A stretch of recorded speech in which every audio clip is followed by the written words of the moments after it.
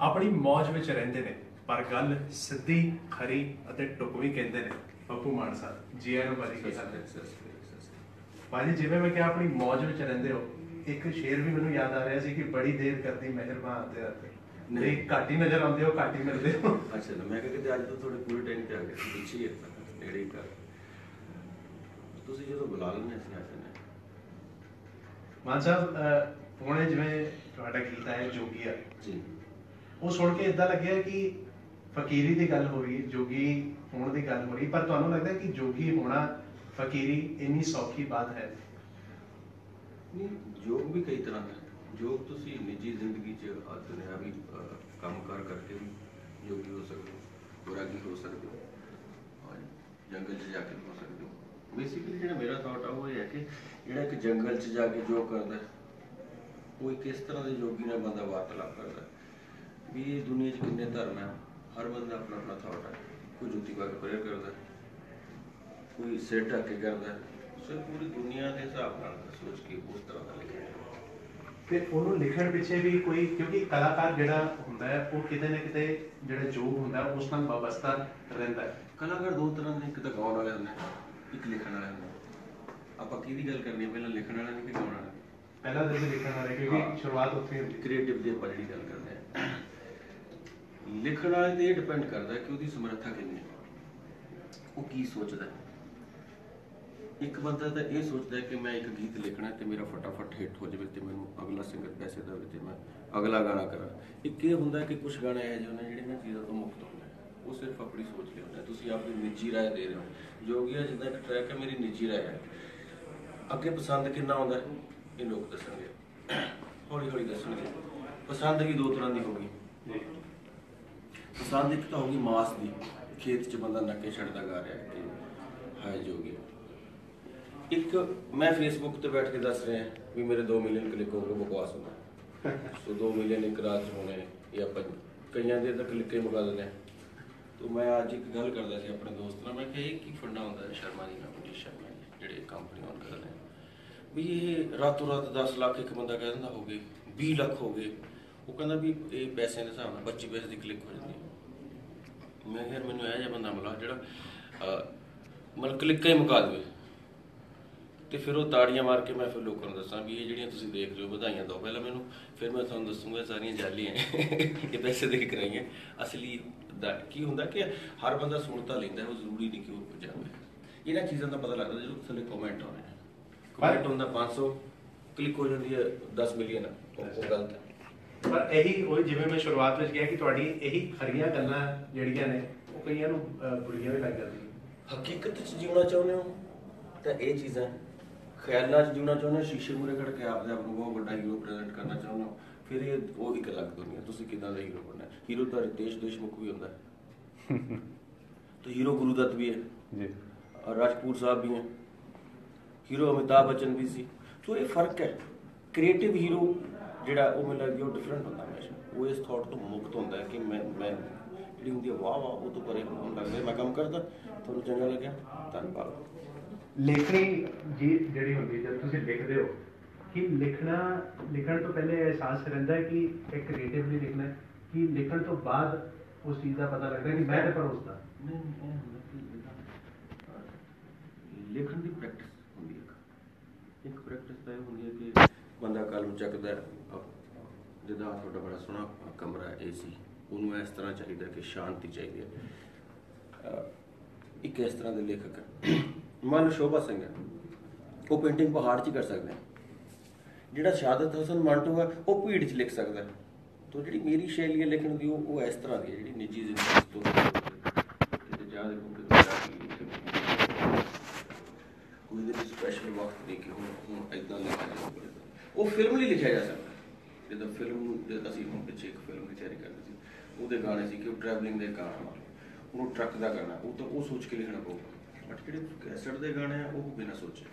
ਤੁਹਾਡੇ ਫੈਨਸ ਜਿਹੜੇ ਇਸ ਵਕਤ ਜੁੜੇ ਹੋਏ ਨੇ ਪੀਟੀਸੀ ਪੰਜਾਬੀ ਦੇ ਅਫੀਸ਼ੀਅਲ ਫੇਸਬੁੱਕ ਤੇ ਪੇਜ ਦੇ ਜ਼ਰੀਏ ਸਾਰੇ ਤੁਹਾਨੂੰ ਜੀ ਆਇਆਂ ਨੂੰ ਕਹਿ ਰਹੇ ਨੇ ਤੇ ਕਹਿ ਰਹੇ ਨੇ ਭਾਜੀ ਤੁਸੀਂ ਸਿਰਾ ਆਦ ਤੋਂ ਤੁਹਾਨੂੰ ਪਤਾ ਕਮੈਂਟ ਆਉਂਦੇ ਇਹ ਇਹ ਸਿਰਾ ਹੱਥ ਵੀ ਮਰਾ ਦਿੰਦਾ ਕਈ ਵਾਰੀ ਬੰਦੇ ਨੂੰ। ਕਿਉਂਕਿ ਇਹ ਵੀ ਇੱਕ ਕਮੈਂਟ ਹੋ ਗਿਆ ਫੇਸਬੁੱਕ ਤੇ ਕਿ ਤਕਰੀਬਨ ਜਦੋਂ ਵੀ ਕੋਈ ਵੀ ਗਾਣਾ ਆਉਂਦਾ ਹੈ ਕੁਝ ਤਾਂ ਕੁਝ ਕਲਾਕਾਰਾਂ ਤਾਂ ਲੋਕ ਬਹੁਤ ਪਿਆਰ ਕਰਦੇ ਆ। ਸੱਚੀ ਉਹਨਾਂ ਨੂੰ ਆਤੇ ਸਿਰਾ ਕਹਿੰਦੇ ਨੇ ਕੁਝ ਆਪਦੇ ਬੰਦੇ ਤੋਂ ਵੀ ਅੱਤ ਸਿਰਾ ਲਿਖਾ ਲੈਂਦੇ ਆ। ਪਰ ਤੁਹਾਡੀ ਮੈਂ ਸ਼ੁਰੂ ਤੋਂ ਵੇਖਿਆ ਕਿ ਇੱਕ ਬਹੁਤ ਹੀ ਕਮਿਟਡ ਫੈਨ ਫੋਲੋਇੰਗ ਹੈ ਵਕਤ ਦੇ ਨਾਲ ਬਣੀਆਂ ਗਈਆਂ ਤੁਸੀਂ ਜਿਹਨੂੰ ਕਹਿੰਦੇ ਆ ਢੁਕਵੀਂ ਗੱਲ ਕਰਦੇ ਹੋ ਉਸ ਦਾ ਨਤੀਜਾ ਹੈ ਨਹੀਂ ਮੇਰੀ ਇੱਕ ਜਦੋਜਹਿਦ ਸੀ ਬਚਪਨ ਤੋਂ। ਉਹ ਮੈਂ ਜਦੋਂ ਰੇਡੀਓ ਸੁਣਦਾ ਸੀ ਸਾਡੇ ਰੇਡੀਓ ਜ਼ਰੀਏ ਸੀ। ਟੇਪਰ ਘੱਟ ਹੁੰਦੀ ਸੀ ਬਟ ਉਹਦੀ ਜਿਹੜੀ ਕੈਸਟ ਉਹ ਮਹਿੰਗੀ ਹੁੰਦੀ ਸੀ। 10 12 ਰੁਪਏ ਦੀ ਹੋਣੀ ਸ਼ਾਇਦ ਉਹਨਾਂ ਟਾਈਮ ਉਹਨੂੰ ਖਰੀਦਣ ਲਈ ਪੈਸੇ ਇਕੱਠੇ ਕਰਨੇ ਪੈਂਦੇ ਸੀ, ਤਾਂ ਰੇਡੀਓ ਸਸਤਾ ਕੰਮ ਸੀ। ਰੇਡੀਓ ਤੇ ਜਦੋਂ ਮੈਂ ਵਾਚ ਕਰਦਾ ਸੀ ਤਾਂ ਮੈਨੂੰ ਲੱਗਦਾ ਸੀ ਕਿ ਇੱਕ ਲੇਖਕ ਹੈ। ਫਿਰ ਉਹ ਗੀਤ ਲਿਖੂਗਾ, ਫਿਰ ਇੱਕ ਕੰਪੋਜ਼ਰ ਕੰਪੋਜ਼ ਕਰੂਗਾ, ਤੇ ਫਿਰ ਇੱਕ ਸਿੰਗਰ ਗਾਊਗਾ। ਮੈਨੂੰ ਲੱਗਦਾ ਇਹ ਪ੍ਰੋਜੈਕਟ ਤਾਂ ਇੱਕੋ ਹੈ ਇੱਕੋ ਬੰਦਾ ਕਰ ਸਕਦਾ ਸੋ ਮੇਰੀ ਜਦੋਂ ਜਹਿਦ ਇਹੀ ਸੀ ਕਿ ਮੈਂ ਇਹ ਇਹ ਸਾਰਾ ਕੰਮ ਬੈਠ ਕੇ ਨਿਪਰੇ ਜਿਹੜਾ ਕਿ ਇੱਕੋ ਬੰਦਾ ਕਰ ਰਿਹਾ ਬੜਾ ਈਜ਼ੀ ਹੋ ਜਾਂਦਾ ਪਰ ਅੱਜ ਦੇ ਦੌਰ ਵਿੱਚ ਜਿਵੇਂ ਕਲਾਕਾਰ ਨੂੰ ਆਪਣੇ ਨਾਲ ਵਬਸਤਾ ਹੋਣ ਦਾ ਮੌਕਾ ਬੜਾ ਘੱਟ ਮਿਲਦਾ ਹੈ ਪਰ ਉਸ ਦੌਰ ਵਿੱਚ ਸੋਸ਼ਲ ਮੀਡੀਆ ਦਾ ਰੌਲੇ ਰੱਪੇ ਦਾ, ਸ਼ੋਰ ਸ਼ਰਾਬੇ ਦਾ ਦੌਰ ਹੈ। ਤੇ ਆਪਣੇ ਨਾਲ ਵੀ ਕੋਈ ਜਦੋਜਹਿਦ ਤੁਹਾਡੀ ਰਹਿੰਦੀ ਮੇਰੀ ਆਪਣੇ ਦਿਲ ਤੇ ਦਿਮਾਗ ਦੀ ਲੜਾਈ ਚੱਲ ਰਹੀ ਆ, ਹੋਰ ਤਾਂ ਮੇਰਾ ਕਿਸੇ ਨਾਲ ਬਾਕੀ ਮੈਂ ਬੜਾ ਸੀਮਤ ਹੈ। ਮੇਰੀਆਂ ਲੋੜਾਂ ਬੜੀਆਂ ਸੀਮਤ ਹੈ। ਮੇਰੀ ਡਾਈਟ ਬੜੀ ਸੀਮਤ ਹੈ। ਸੋ ਇਸ ਕਰਕੇ ਮੈਂ ਉਹਨਾਂ ਚੀਜ਼ਾਂ ਤੋਂ ਬੜਾ ਪਰੇ ਹਾਂ। ਮੈਨੂੰ ਲੱਗਦਾ ਜਿਹੜੀ ਐਵੇਂ ਬਿਨਾਂ ਗੱਲੋਂ ਵਾਹ ਵਾਹ ਜਿਹੜੀ ਆ ਬੰਦੇ ਨੂੰ ਚਮਲਾ ਦਿੰਦੀ ਹੈ ਤੇ ਤੁਸੀਂ ਘਰ 'ਚ ਵੀ ਕਿਸੇ ਜਵਾਕ ਨੂੰ ਜ਼ਿਆਦਾ ਲਾਡ ਕਰੋ। ਸਿਰ ਚੜ ਜਾਂਦਾ ਫਿਰ ਉਹ। ਜਦੋਂ ਜਵਾਨ ਹੁੰਦਾ ਫਿਰ ਸਿਰ ਗਲੀ ਕਰ ਜਾਂਦਾ। ਤਾਂ ਬੈਠ ਕੇ ਤੁਸੀਂ ਚੁੱਪ ਜਿਹੇ ਰਹੋ ਆਪਦੇ ਆਪ 'ਚ ਬਸ ਤੇ ਸੀਮਿਤ ਦਾਇਰੇ ਦੇ ਵਿੱਚ ਕੌਣ-ਕੌਣ ਲੋਕ ਨੇ ਜਿਨ੍ਹਾਂ ਨੂੰ ਮਿਲਣਾ ਪਸੰਦ ਕਰਦੇ ਹੋ? ਖਾਲੀ ਸਮੇਂ ਵਿੱਚ ਕੀ ਮਸਰੂਫੀਅਤ ਰਹਿੰਦੀ ਨਹੀਂ ਮੈਂ ਤਾਂ ਆਪਣੇ ਚਾਹਣਾ ਹੁਣ ਵੀ ਮਿਲ ਨਹੀਂ ਹੋਇਆ ਤਿੰਨ ਚਾਰ ਮਹੀਨੇ ਤੋਂ ਨਹੀਂ ਤਾਂ ਅਸੀਂ ਹਾਂ ਮਹੀਨੇ ਦਾ ਇੱਕ ਦਿਨ ਰੱਖਿਆ ਹੋਇਆ ਹੈ ਐਤਵਾਰ ਆਖਰੀ ਐਤਵਾਰ ਮੈਂ ਪਿੰਡੋਂ ਮੈਂ ਤਾਂ ਪਿੰਡ ਮਿਲ ਲੈਂਦਾ ਵੈਸੇ ਮੈਂ ਹਰ ਬੰਦੇ ਦੀ ਅਪਰੋਚ ਹੈ ਤੁਰਦਾ ਫਿਰਦਾ ਜਿੱਦਾਂ ਸੈਰ ਕਰਦਾ ਤਾਂ ਕਿਉਂਕਿ ਇਹੀ ਮੇਰਾ ਸ਼ਹਿਰ ਹੈ ਨਾਲ ਹੀ ਮੇਰਾ ਪਿੰਡ ਹੈ ਸੋ ਮੇਰਾ ਰਾਬਤਾ ਪਿੰਡ ਨਾਲ ਵੀ ਹੈ ਸਾਰਿਆਂ ਨਾਲ ਤੇ ਪਿੰਡ ਦੀ ਗਲੀਆਂ ਵਿੱਚ ਜਦ ਵੀ ਨਹੀਂ ਮੈਂ ਜਾਂਦਾ ਨਹੀਂ ਉਹ ਤਾਂ ਪਿੰਡ ਮੇਰਾ ਪਿੰਡ। ਹੁਣ ਮੇਰੇ ਤੋਂ ਤਿੰਨ ਮਹੀਨੇ ਤੋਂ ਬਾਹਰ ਸੀ ਚਾਰ ਦੋ ਕੀ ਦਿਨ ਹੋ ਗਏ। ਬਾਹਰ ਤੁਸੀਂ ਜ਼ਿਕਰ ਕੀਤਾ ਹੁਣੇ ਯੂਕੇ ਟੂਰ ਵੀ ਤੁਸੀਂ 15 ਅਕਤੂਬਰ ਤੋਂ ਕਰਨ ਵਾਲੇ ਹੋ। ਉੱਥੇ ਇਹ ਯੂਕੇ ਵਾਲਿਆਂ ਦੀ ਮਿਹਰਬਾਨੀ ਹੈ ਉਹਨਾਂ ਦੀ ਜਦੋਂ ਜਾਇਆ ਸੀ ਵੀ ਛੇਤੀ ਜਾ ਕੇ ਸਾਡੀ ਇੰਟਰਵਿਊ ਕਰਕੇ ਆਓ। ਸਰਦਾਰ ਜੀ ਵੀ ਆਏ ਬੈਠੇ ਆ ਜਿਨ੍ਹਾਂ ਜਿਨ੍ਹਾਂ ਦਾ ਜਿਨ੍ਹਾਂ ਨੇ ਉੱਥੇ ਸ਼ੋਅ ਕਰਾਉਣਾ ਤੁਹਾਡੇ ਪੀਟੀਸੀ ਵਾਲਾ ਨਾਲ ਟਾਈਪ ਤੇ ਉੱਥੇ ਜਦ ਵੀ ਜਾਂਦੇ ਸਾਲ ਦਾ ਸੀ ਜੇ ਸਰ ਜਵੇ ਕਿਹੋ ਜਿਹਾ ਹੁੰਗਾਰਾ ਉੱਥੇ ਰਹਿੰਦਾ ਦੇਖੋ ਸੱਚ ਦੱਸਾਂ ਕਿ ਉਦਾਂ ਸੱਚ ਸੱਚ। ਮੈਨੂੰ ਤਾਂ ਖਾਸਾ ਪਿਆਰ ਮਿਲਦਾ ਮੈਂ ਕੁਝ ਲੋਕਾਂ ਨੂੰ ਤੇ ਦੱਸਣਾ ਪੈਂਦਾ ਕਿ ਸੋਲਡ ਆਊਟ ਸ਼ੋਅ ਹੋ ਗਿਆ। ਮੇਰੇ ਮੈਨੂੰ ਤਾਂ ਨਹੀਂ ਕਹਿਣਾ ਪੈਂਦਾ ਲੋਕ ਵੀ ਕਹਿੰਦੇ ਨੇ। ਕਿਉਂਕਿ ਅੱਜ ਕੱਲ ਫੇਸਬੁੱਕ ਤੇ ਨੁਕਸਾਨ ਵੀ ਹੋਏ YouTube ਦੇ ਨੁਕਸਾਨ ਵੀ ਬਹੁਤ ਆ ਪਾਇਰੇਸੀ ਬਹੁਤ ਹੋ ਗਈ। ਸੰਗੀਤ ਵਿਕਦਾ ਨਹੀਂ ਹੁਣ। ਫੋਕੀ ਬਾਵਾ ਵੀ ਹੋ ਹੋ ਜਾਂਦੀ। ਬਟ ਇਹਦੇ ਨਾਲ ਕੀ ਹੈ ਕਿ ਇੱਕ ਹਕੀਕਤ ਸਾਹਮਣੇ ਆ ਜਾਂਦੀ ਹੈ ਜਿੱਦਾਂ ਮੰਨ ਲਓ ਤੁਹਾਡਾ ਚੈਨਲ ਹੈ ਤੁਹਾਡੇ ਚੈਨਲ ਨਾਲ ਕੋਈ ਬੰਦਾ ਜੁੜਿਆ ਹੈ। ਜੋ ਉਹਦੇ ਸ਼ੋਅ ਦੀ ਤੁਸੀਂ ਖਬਰ ਲਾ ਸਕਦੇ ਹੋ ਕਿ ਭਈ ਬਹੁਤ ਸੁਪਰ ਹਿੱਟ ਹਾਲਾਂਕਿ ਉਹ ਨਾ ਵੀ ਹੋਵੇ। ਫੇਸਬੁੱਕ ਦੱਸ ਦਿੰਦੇ ਵੀ ਕਿੰਨੀਆਂ ਕੁਰਸੀਆਂ ਖਾਲੀ ਸੀ ਕਿੰਨੀਆਂ ਭਰੀਆਂ ਹੋਈਆਂ ਸੀ। ਤਾਂ ਇਹਦੇ ਕਈ ਫਾਇਦੇ ਵੀ ਹੈ। ਪਰ ਉੱਥੋਂ ਕੋਈ ਖਾਸੀਆਂ ਫਰਮਾਇਸ਼ਾਂ ਜਿਹੜੀਆਂ ਰਹਿੰਦੇ ਨੇ ਉੱਥੋਂ ਦੇ ਲੋਕ ਜਿਸ ਨਾਲ ਜੁੜੇ ਹੋਏ ਪੰਜਾਬੀ ਸ਼ੋਅ ਦਾ ਕੀ ਹੈ ਦੇਖੋ। ਹੌਲੀ ਹੌਲੀ ਕਿਉਂਕਿ ਜਿਹੜਾ ਸ਼ੋਅ ਬਿਜ਼ਨਸ ਹੈ ਇੱਕ ਅਲੱਗ ਦੁਨੀਆ ਹੈ। ਅੰਗਰੇਜ਼ਾਂ ਦਾ ਹੀ ਫਾਰਮੈਟ ਹੈ ਸੀਟਾਂ ਬੰਦ ਹਾਲ ਅਕੋਸਟਿਕ ਹਾਲ। ਆਪਣੇ ਤਾਂ ਇਹਨਾਂ ਮੁਲਕਾਂ 'ਚ ਖੁੱਲੇ ਅਖਾੜਿਆਂ ਦਾ ਸਿਸਟਮ ਹੈ ਉਹਨਾਂ ਮੁਲਕਾਂ 'ਚ ਉਸ ਤਰ੍ਹਾਂ ਦੀ ਜਗ੍ਹਾ ਅਵੇਲੇਬਲ ਨਹੀਂ ਕੋਈ ਖਦਸ਼ਾ ਰਹਿੰਦਾ ਕੋਈ ਘਟਨਾ ਨਾ ਵਾਪਰੇ। ਤਾਂ ਉਸ ਤਰ੍ਹਾਂ ਅਕੋਸਟਿਕ ਹਾਲ 'ਚ ਬਣਵੇਂ ਪ੍ਰੋਗਰਾਮ ਉਹ ਮੌਕੇ ਤੇ ਟਿਕਟਾਂ ਆਮ ਤੌਰ ਤੇ ਲੈਣੇ ਤੇ ਫਿਲਮਾਂ ਦੇ ਹਵਾਲੇ ਨਾਲ ਕਿਉਂਕਿ ਬਾਅਦ ਤੋਂ ਬਾਅਦ ਤੁਹਾਡੇ ਫੈਨਸ ਨੂੰ ਬੜੀ ਉਡੀਕ ਹੈ ਤੁਹਾਡੀ ਕੋਈ ਅਗਲੀ ਫਿਲਮ ਦੀ। ਮੈਂ ਫਾਰਮੈਟ ਜਿਹਾ ਬਣਾਇਆ ਜ਼ਿੰਦਗੀ ਦਾ ਜਾਂ ਤਾਂ ਮੈਂ ਗਾਣੇ ਕਰੀ ਜਾਂਦਾ ਇੱਕ ਦੋ ਸਾਲ। ਜਾਂ ਫਿਰ ਫਿਲਮਾਂ ਹੀ ਕਰੀ ਜਾਂਦਾ। ਮੈਨੂੰ ਲੱਗਦਾ ਹੁਣ ਮੈਂ ਪਿਛਲੇ ਦੋ ਸਾਲ ਕੋਈ ਬਾਅਦ ਵੇਲੇ ਮੈਂ ਕਿਹਾ ਸੀ ਕਿ ਮੈਂ ਹੁਣ ਖਾਸਾ ਚਿਰ ਗਾਣੇ ਬਣਾ ਕੇ ਰੱਖੂੰਗਾ ਪਹਿਲਾਂ ਜਿਹੜੇ ਮੇਰੇ ਕੋਲ ਜਮ੍ਹਾਂ ਹੋ ਜਾਣਗੇ ਹੁਣ ਗਾਣੇ ਪੂਰੇ ਹੋ ਗਏ ਮੈਨੂੰ ਲੱਗਦਾ ਹੁਣ ਮੈਂ ਇਸ ਸਾਲ ਫਿਲਮਾਂ 'ਚ ਲਾ ਦੂੰਗਾ ਜ਼ਿਆਦਾ ਵਕਤ ਗੁਰਪ੍ਰੀਤ ਭਾਜੀ ਤੁਹਾਨੂੰ ਜਿਵੇਂ ਵਿਦੇਸ਼ਾਂ ਦੀ ਗੱਲ ਕਰ ਰਹੇ ਹਾਂ ਵਿਦੇਸ਼ ਤੋਂ ਵੀ ਸਾਨੂੰ ਬਹੁਤ ਸਾਰੇ ਮੈਸੇजेस ਯੂਕੇ ਤੋਂ ਯੂਐਸ ਤੋਂ ਮਲੇਸ਼ੀਆ ਤੋਂ ਮੈਸੇਜ ਆ ਰਹੇ ਨੇ। ਸਾਰੇ ਤੁਹਾਨੂੰ ਜੀ ਆਇਆਂ ਨੂੰ ਕਹਿ ਰਹੇ ਨੇ ਕਿ ਉਧਰ ਵੀ ਆਓ। ਆਉਨੇ ਆਉਣ ਹੁਣ। ਮੈਨੂੰ ਥੋੜਾ ਜਿਹਾ ਜਾਣਾ ਪੈਣਾ ਗਿਆ ਨਹੀਂ ਮੈਨੂੰ ਲੱਗਦਾ ਕਦੇ ਮੈਂ। ਸਿੰਗਾਪੁਰ ਵੀ ਨਹੀਂ ਗਿਆ। ਲੌਂਗ ਟਾਈਮ ਬੈਕ ਮੈਂ ਗਿਆ ਸੀ ਹਾਂਗਕਾਂਗ ਕਰਤਾ ਮਾਨ ਸਾਹਿਬ ਤੁਸੀਂ ਕਦੀ ਇਹ ਸੋਚਦੇ ਹੋ ਜਾਂ ਕਦੀ ਕਿ ਮੈਨੂੰ ਲੋਕ ਜਿਹੜੇ ਨੇ ਉਹ ਇਸ ਤਰ੍ਹਾਂ ਜਾਣਨ ਇੱਕ ਬੰਦਾ ਕਹਿੰਦਾ ਕਿ ਹਾਂ ਇੱਕ ਸਿੰਸੀਅਰ ਆਰਟਿਸਟ ਇੱਕ ਜਿਹਨੂੰ ਕਹਿੰਦੇ ਓਵਰਆਲ ਮਲਟੀ ਟੈਲੈਂਟਡ ਆਰਟਿਸਟ ਕੋਈ ਅਜਿਹੀ ਖੁਆਇਸ਼ ਹੈ? ਮੈਨੂੰ ਤਾਂ ਹਰ ਰੂਪ ਚ ਉਹਨਾਂ ਨੇ ਪਸੰਦ ਫਿਲਮਾਂ ਮੇਰਾ ਸਹਾਇਕ ਧੰਦਾ ਜਿੱਦਾਂ ਖੇਤੀਬਾੜੀ ਨਾਲ ਮੱਝਾਂ ਰੱਖ ਲਓ, ਦੁੱਧ ਪਾ ਲਓ, ਚਾਰ ਪੈਸੇ ਆ ਜਾਣ ਸਵੇਰੇ। ਮੇਰਾ ਅਸਲੀ ਕਿੱਤਾ ਗਾਉਣਾ ਹੈ, ਇਹਦੇ 'ਚ ਮੈਨੂੰ ਜ਼ਿਆਦਾ ਆਨੰਦ ਆਉਂਦਾ ਫਿਲਮ ਸੋਹਣੀ ਲੱਗਦੀ ਹੈ 7 ਦਿਨ ਜਦੋਂ ਸ਼ੂਟਿੰਗ ਕਰਦੇ ਹਾਂ। 8ਵੇਂ ਦਿਨ ਜਦੋਂ ਮੇਕਅਪ ਕਰਕੇ ਬੈਠਣਾ ਪੈਂਦਾ 8-10 ਘੰਟੇ ਫਿਰ ਔਖਾ ਲੱਗਦਾ।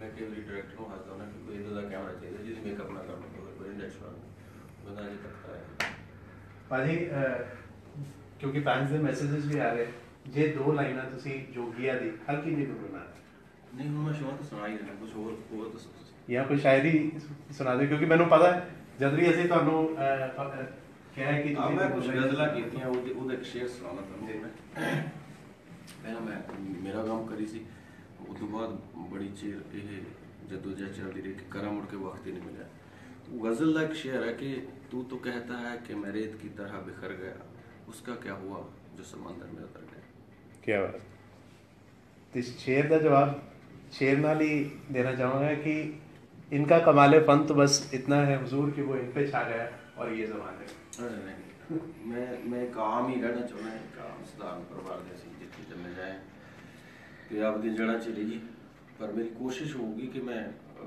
ਸਬਜੈਕਟ ਇਹਨੇ ਲਿਖਾ ਕਿ ਤਾਂ ਕਿ ਕੋਈ ਵਕਤ ਹਰ ਵਕਤ ਜੇ ਬੰਦਾ ਸਵੇਰੇ ਉੱਠੇ ਉਹਨੂੰ ਸਵੇਰ ਦਾ ਗੀਤ ਮਿਲ ਜੇ ਦੁਪਹਿਰ ਹੋ ਗਈ ਤਾਂ ਉਹਨੂੰ ਦੁਪਹਿਰ ਦਾ ਗੀਤ ਮਿਲੇ ਖੁਸ਼ ਬਹੁਤ ਦਾ ਖੁਸ਼ੀ ਦਾ ਗੀਤ ਮਿਲੇ ਗਮਗੀਨ ਹੈ ਤਾਂ ਗਮ ਦਾ ਗਾਣਾ ਮਿਲੇ। ਤਾਂ ਮੇਰੀ ਜਦੋਂ ਜਦ ਸਬਜੈਕਟ ਲੱਭਣ 'ਚ ਜ਼ਿਆਦਾ ਲੱਗਦੀ